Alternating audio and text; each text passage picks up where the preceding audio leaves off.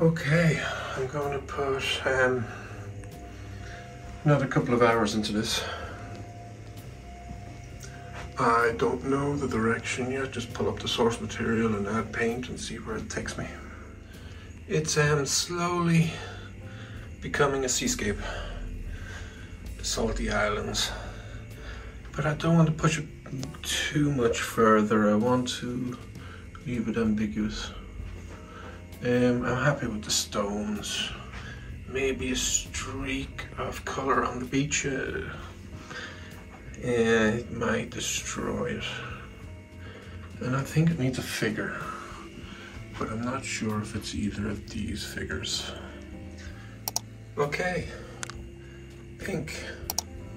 Or pinkish grey. Pink and grey have a very good relationship to each other. I think that's why it works. I think any yellow in that would have destroyed the painting.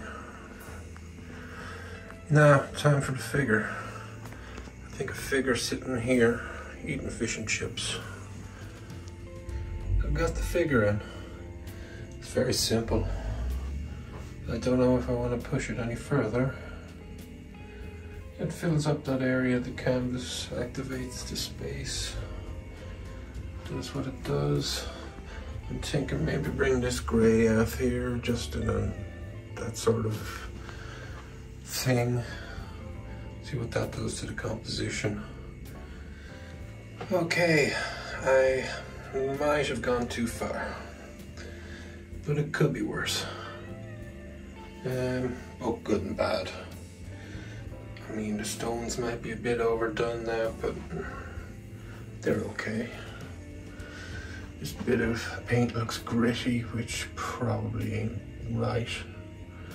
I could maybe wash it with some oil. I tried to put jeans on this figure, but probably shouldn't have. Now I'm toying with the white shirt. Should I put a white shirt on him, you know, just to sort of mirror this? That might be putting it over the top or over the edge. Okay, so in conclusion, I put some oil in a dark cloud over the head. Hmm. It is what it is.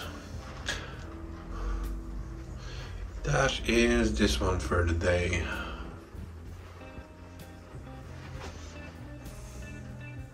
Goodbye.